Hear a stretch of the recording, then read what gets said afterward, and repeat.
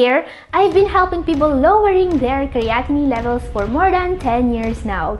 I've seen people succeeding in what many consider impossible, having stable improvements in GFR and other markers such as creatinine and insulin resistance. And there is one change that always seems to give the best results to everyone finding the right diet. So many patients and even doctors unfortunately seem to be extremely confused regarding the right way to eat for those with kidney issues. And that's a problem. Studies saw people even in stage 4 completely stopping the progression of GFR decline when they started following the right diet. Some even reversed it all thanks to a way of eating that was richer in fruit and vegetables. Now, very important, in this study, researchers made sure not to discriminate among vegetables. There were no forbidden fruits here. So despite what some experts say, eating more fruits and vegetables, even those unjustly banned, may directly lead to a better GFR. This is why today we will see 7 foods that were unjustly forbidden for too long and that you can actually put back on your table. Let's start with probably the most controversial food in existence. This is a fruit, but everyone calls it a veggie. It's really good for you as it will help your circulation while lowering your pressure. And yet probably no dietitian ever had recommended this one to a kidney patient. But they may be wrong. I'm talking about number 7, tomato.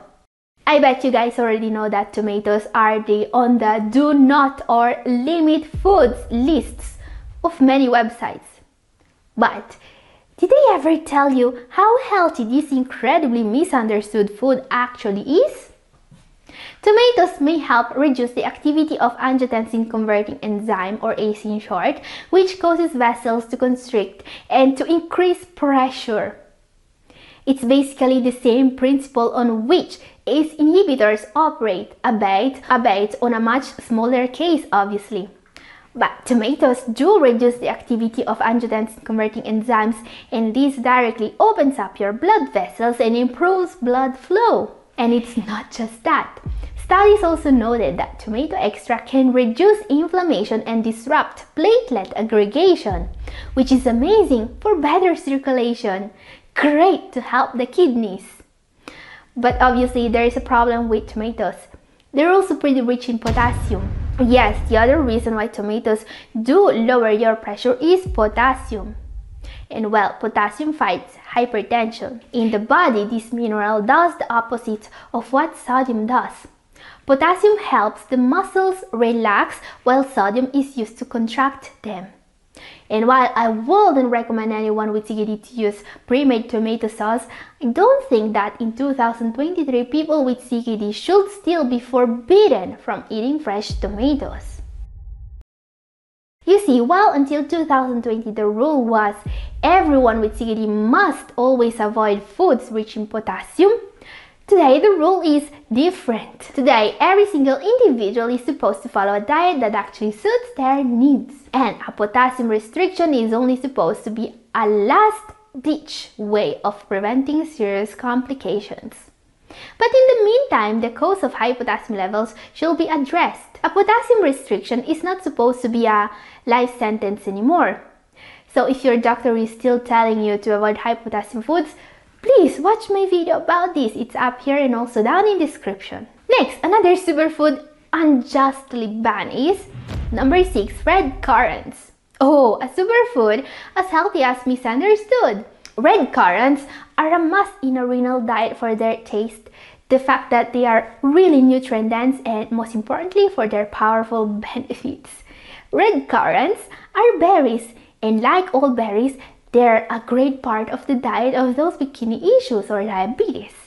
And I would also recommend red currants to those with hypertension. Red currants are particularly rich in anthocyanins, the compounds which give the berries their red, purple, and blue pigments, which can help with protecting the arteries. And this incredible berry also has powerful anti-inflammatory and detoxing benefits, especially for the urinary tract. Red currant even boasts some stress-reducing properties. Consuming this tart berry may help decreasing cortisol production, very useful to fight a possible cause of kidney damage. What not many people know about red currants is that this plant was wrongfully accused in 20th century of spreading a fungus that killed pines and the US government actually banned the cultivation. Just unban it a few years later. What this means is that today the majority of Americans can only enjoy frozen or dried red currants, which is not so bad considering that you will still get the benefits, but you will be missing their tarty, delightful taste. In any case, make this delicious berry a regular on your table. Okay, time now to see another superfood that people are still avoiding even if they don't need to. This one in particular seems to fight one of the most serious causes of kidney damage. Let's take a look. Number 5. Flaxseed. Okay, this is probably one of the few foods in existence that have actually been used in serious studies to lower creatinine in people with kidney problems. Flaxseed is especially powerful for people with inflammatory kidney disease.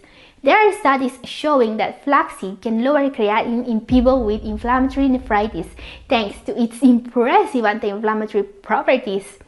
And let's talk about flaxseed and diabetes. In an 8-week study in 57 people with type 2 diabetes, those who consume 1 ounce or 30 grams of flax seeds per day experienced significant reductions in HbA1c compared with those who didn't. So we are talking about a superfood that not only reduces inflammation in the body, but that also fights diabetes, the number one cause of kidney failure in the world. And I mean, when you look at this, it's ridiculous to think that some experts are still telling people to avoid this food. And the reason, in this case, is phosphorus. Now, I'm not saying that phosphorus isn't a risk for those with kidney problems. But you see, when it comes to veggies rich in phosphorus, just like for potassium, we are almost always looking at foods that shouldn't have been banned in the first place. There's a very little correlation between the phosphorus you get from plant-based foods and the phosphorus level in your body. What can really raise your phosphorus levels is meat and additives. That's what you should be careful with not seeds and other veggies. Besides, flax seeds really are good for you. Just remember to green them or add them to a smoothie. Don't eat them raw, your body won't digest them. If you want to add seeds to your salad, prefer chia seeds or sunflower seeds. And here's something you didn't know you can add to your salad. Number 4. Red potatoes. Okay, potatoes are amazing and delicious. It's a shame that people with kidney problems were forbidden to eat them for so long. What? Thing is, potatoes are actually very good for you. Potatoes are as rich in nutrients and fiber as many other veggies. And some potatoes are also a great source of resistant starch. This starch is not broken down and fully absorbed by the body. Instead, it reaches the large intestine where it becomes a source of nutrients for the beneficial bacteria in your gut. Research has linked resistant starch to many health benefits including reducing insulin resistance, which in turn improves sugar control.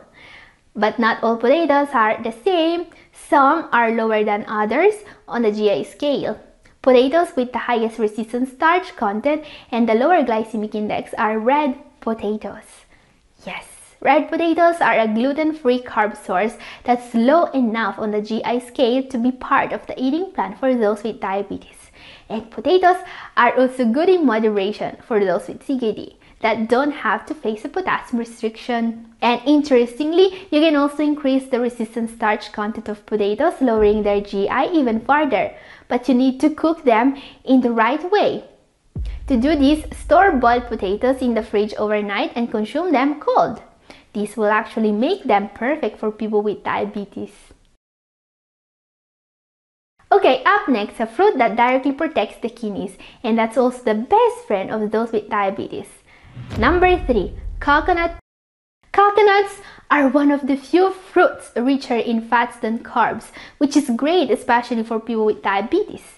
It means these fruits are a source of energy that won't spike your sugar levels. Now, much of the fat in coconut is in the form of medium chain triglycerides or MCTs. This is the only form of fat that the body can use as an immediate source of energy, a bit like carbs. So eating coconuts will make you feel more energized but without causing problems for those with diabetes. No wonder that people following the keto diet love coconuts. And MCTs are also healthy for the kidneys, especially in case of diabetes, that you can also get them in oil form to supplement your diet. Studies say they may improve insulin resistance and help overweight people lose weight. And you can also get these healthy fats naturally from coconuts. Now, like some other foods of this video, moderation is key when consuming coconuts since they are very caloric and rich in potassium. So again, if you are still limiting your potassium, get informed about it. Only a couple of foods even healthier. Our number two in particular is another food with benefits so potent it was even used to lower creatinine levels. Number 2. Rhubarb. Despite being one of the highest foods in oxalate, rhubarb is also a nutrient powerhouse. It's rich in many vitamins and fiber and contains compounds that are known to fight inflammation. And as we can see here, an extract from this plant was even used in those with diabetes and CKD to decrease glucose levels, decrease urea levels, and even creatinine levels. Amazing! And while supplementing this extract is not the same as eating rhubarb, it's clear that this food can help us.